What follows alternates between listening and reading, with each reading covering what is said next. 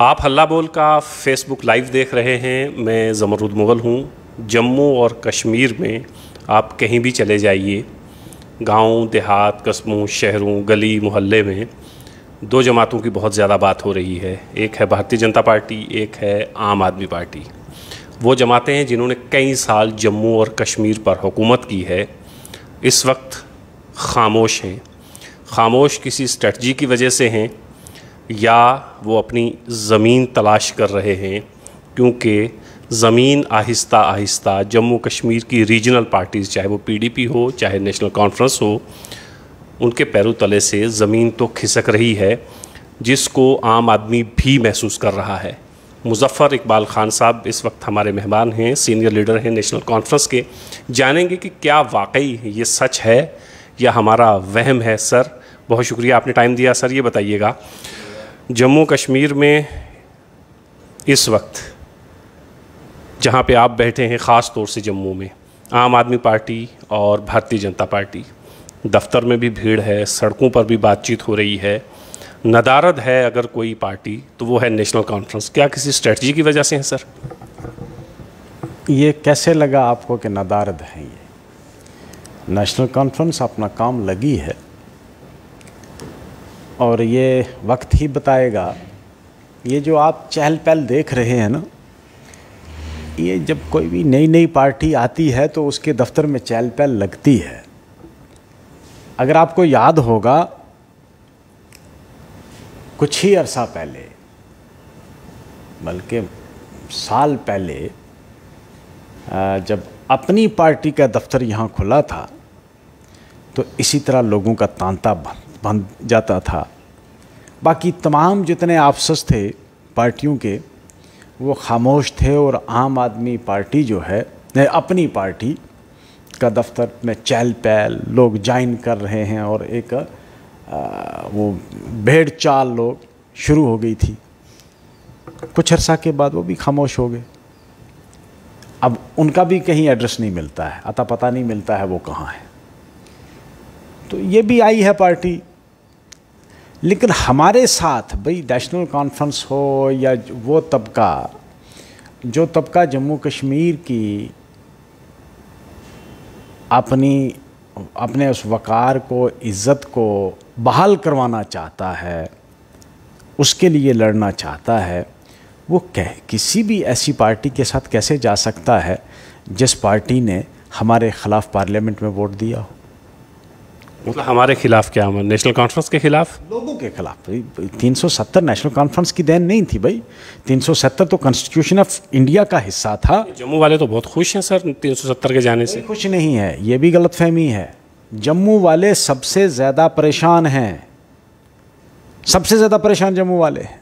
उस वक्त तो बहुत ढोल गाजे बाजे हुए।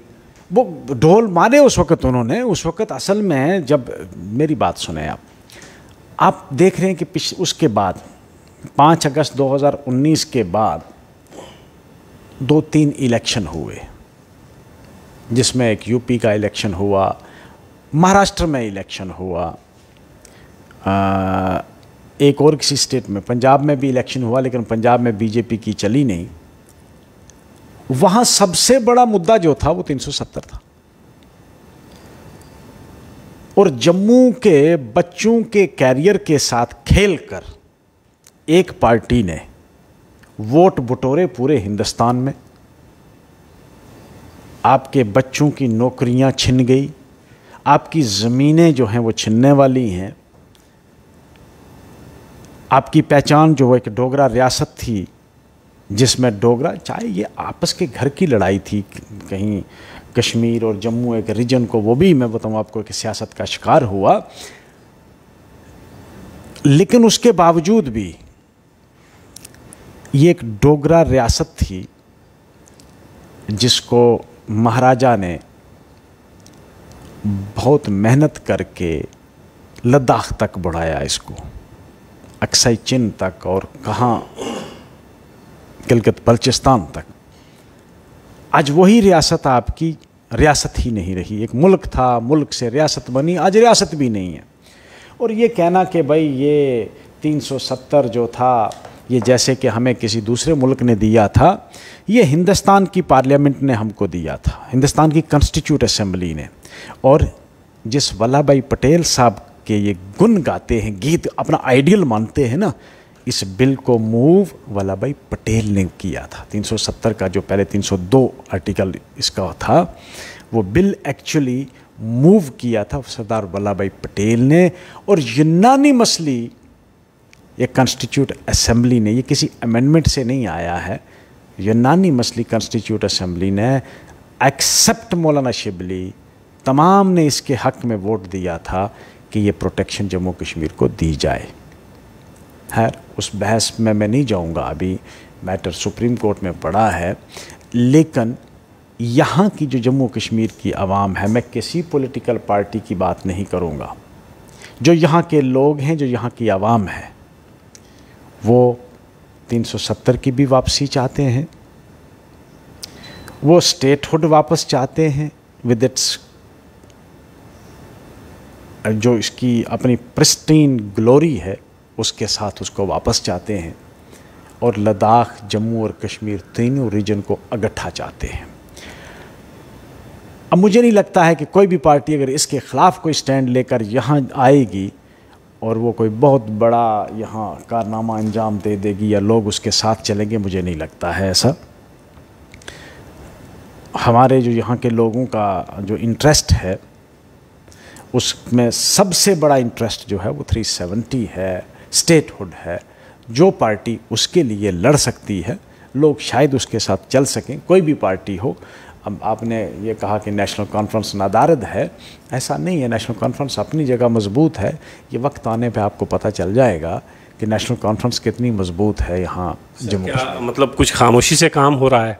फ़ारूक अब्दुल्ला साहब दिखाई नहीं देते हैं उमर अब्दुल्ला हमें सिर्फ़ ट्विटर पे मिलते हैं।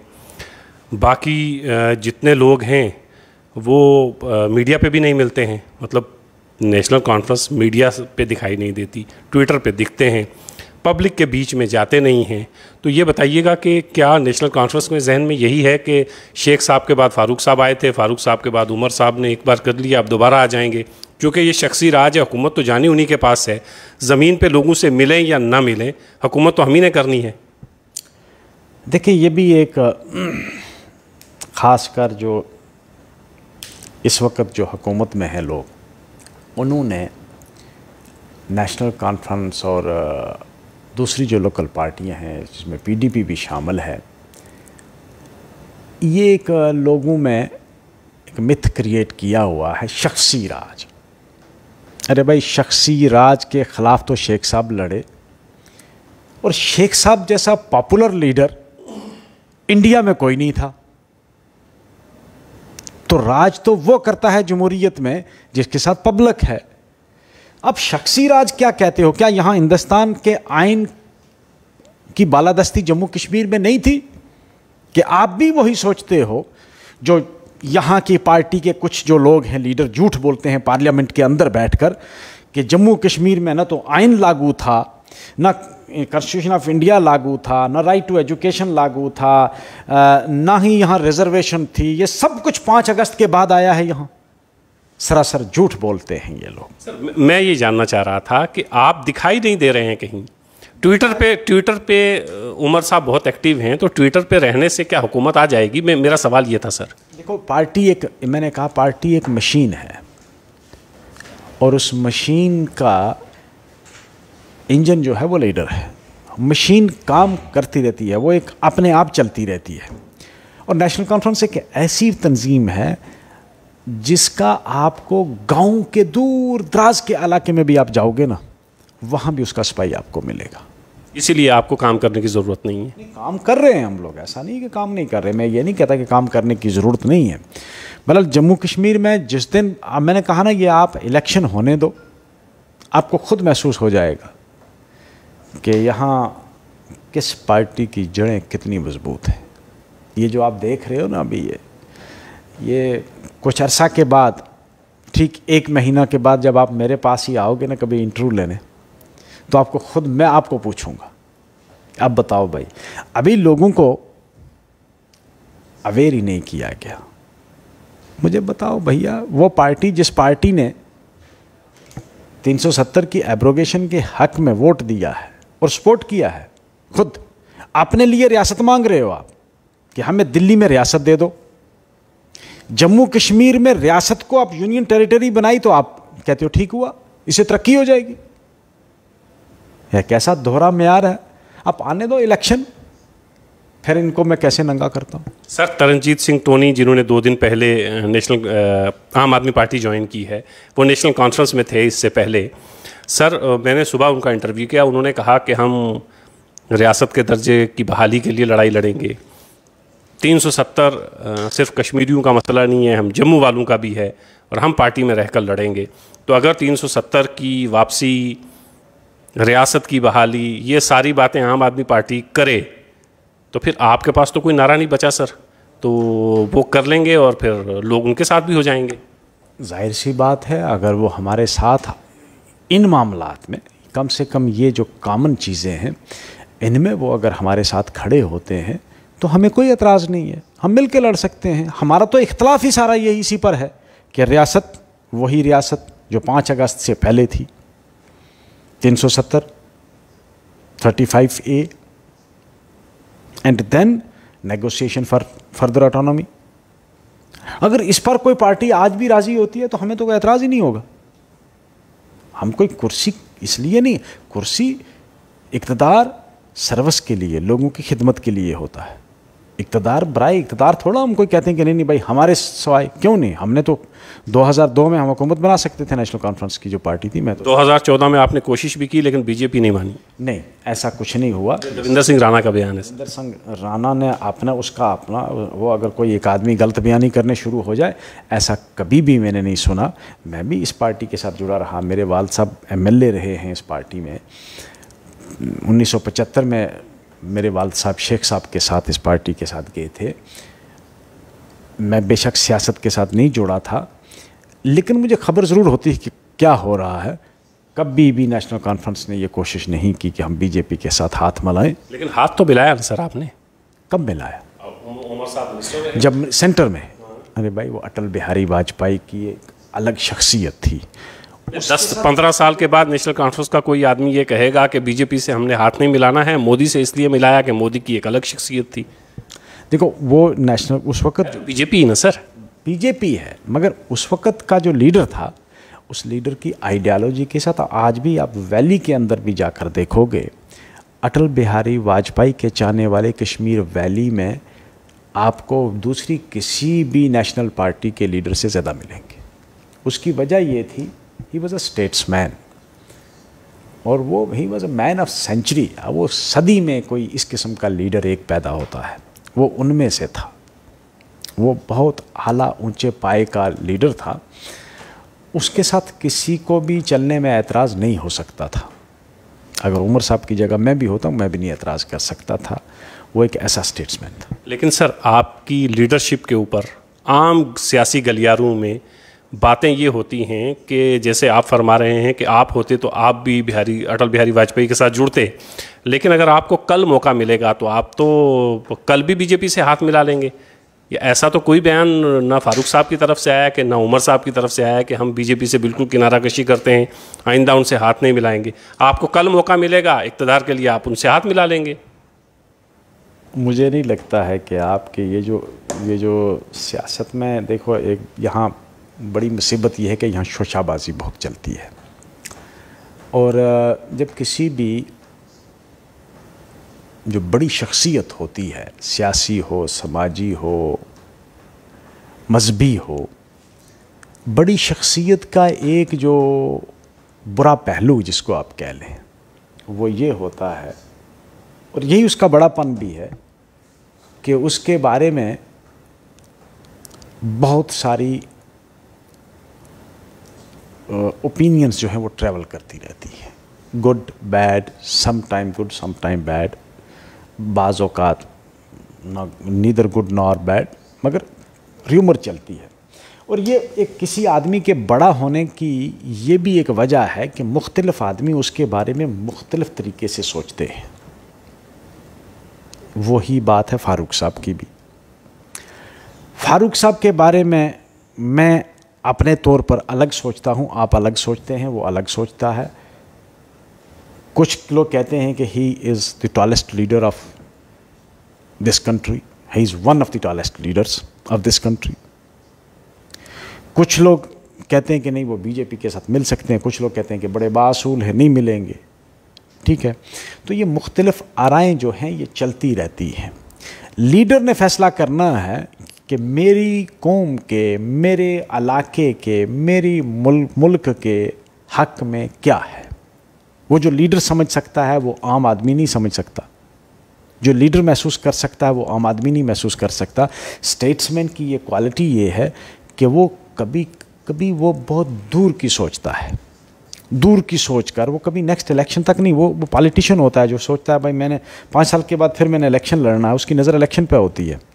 लेकिन जो स्टेट्समैन है, जो लीडर है, वो सदी बाद की सोचता है।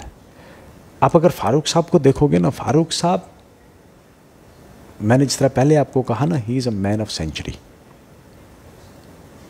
उसको आप अगर रेट करोगे एज लीडर आज की वो क्रिस्मा वो विज़न वो ओपननेस सेकुलरिज्म मतलब उस आदमी को आप देखोगे कि भाई he is secular in is thick and thin as a person state के मामला में जब तक हुकूमत में भी रहा, कोई ये नहीं कह सकता है कि इस आदमी ने कम्युनल लाइन पर देख कर ये फैसला किया जिस तरह के आज हो रहा है। जो आज का दौर हो रहा है, ये दौर भी नहीं रहने वाला। मैं ये भी बताऊँ आपको, हर चीज़ की एक क्लाइमैक्स है, बुराई की भी क्लाइमैक्स है और आज की दौर में बुराई क्लाइमैक्स पे है। अब इस बुराई को गिरना है। और जब ये गिरेगी तो एब्रप्ट गिरेगी। There will be abrupt fall sir ये बताइएगा आम आदमी पार्टी ने आपसे कोई रबता करने की कोशिश की? हम ये भी सुन रहे हैं कि मुजफ्फर इकबाल खान साहब भी आम आदमी पार्टी ज्वाइन कर रहे हैं। देखें रबता करने में किसी को कोई हर्ज नहीं है। वो मेरी चॉइस है। रबता किया मैं नहीं कहूँगा। मैं झूठ क्यों बोलूँगा? मैं रोज़ा रख के अब कहूँ नहीं मेरे साथ रबता नहीं किया। रबता किया उन्होंने। मेरे साथ भी।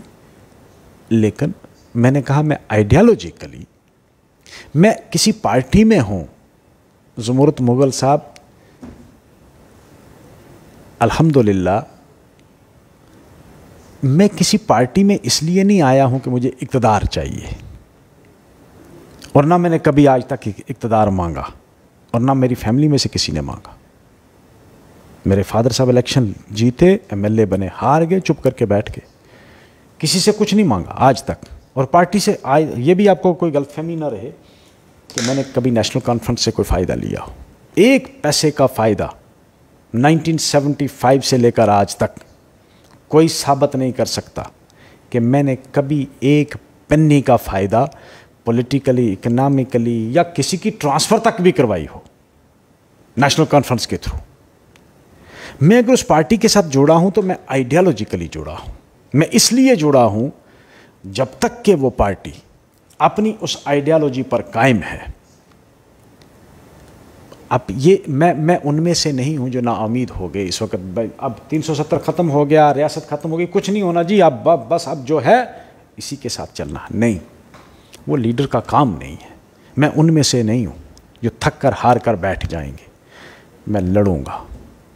हो सकता हमारी पोस्टिरिटी इसका फ़ायदा उठाए। लेकिन हम अपनी पहचान के लिए, जम्मू और कश्मीर की उस पहचान के लिए ज़रूर लड़ेंगे। और मुझे पता है कि जो केजरीवाल साहब की पार्टी है, वो मेरी उस शख्सियत के, मेरी उस तशखस के लिए, उस पहचान के लिए वो नहीं लड़ सकती। जब आप वोट देने की बारी आई तो आपने वोट हमारे ख़िलाफ़ दे दिया तो अब आप कैसे हमारे साथ खड़े हो सकते हो? आप जम्मू कश्मीर के कितने वफ़ादार हो सकते हो? मैंने आपको पहले कहा, अपने लिए तो आप मांग रहे हो कि मुझे रियासत दे दो, दिल्ली में, मुझे पावर दे दो पुलिस मेरे अंडर कर दो, आप धरने पे बैठते हो।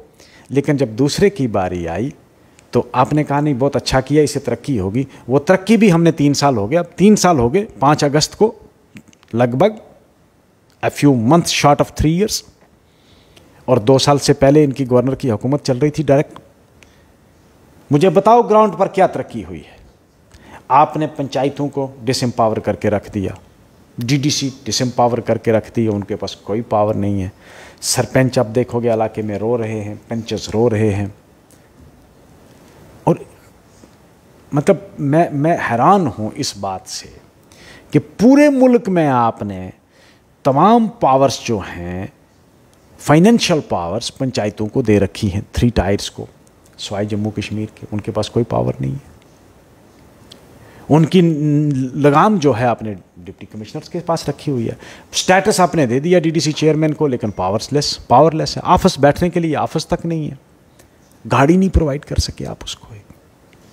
बाकी तो छोड़ो प्रोटोकॉल में आपने रखा है कहाँ और एक गाड़ी नहीं प्रोवाइड कर सके आप।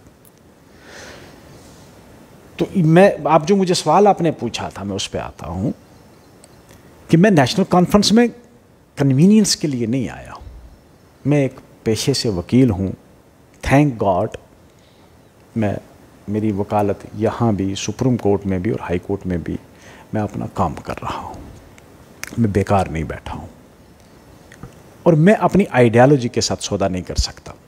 जब तक नेशनल कॉन्फ्रेंस अपनी आइडियालॉजी पे इस पर कायम है कि नेशनल कॉन्फ्रेंस अगर इस आइडियालॉजी से जब हट जाएगी, हम भी चुप करके बैठ जाएँगे। लेकिन जब तक वो अपनी आइडियालॉजी पर कायम है, हम उनके साथ हैं। कि भाई नेशनल कॉन्फ्रेंस जब तक इसके लिए लड़ेगी कि रियासत जम्मू कश्मीर की रियासत की पहचान वापस आए, वो मुतहदा रियासत वापस जिसमें लद्दाख, जम्मू और कश्मीर तीनों रीजन हैं, जो महाराजा ने इस रियासत को जिस कायम किया था, उसी सूरत में वो वापस आए 370 उसी तरह वापस आए रिस्टोर हो further autonomy and the solution of this Jammu and Kashmir turmoil देखो, हम लोगों ने पे किया है।